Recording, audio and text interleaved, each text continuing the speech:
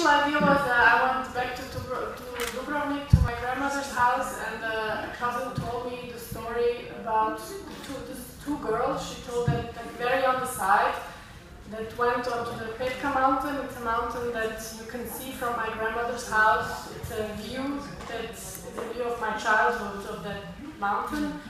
And uh, one of them never returned. And um, so it, it, this intrigued me because I kind of uncanny feeling inside me thinking, what happened? Why, did she tell me this story so, you know, en passant on the side? And, uh, and then I took this anecdote, but it was very soon clear that I want to create a very subjective and personal universe around it.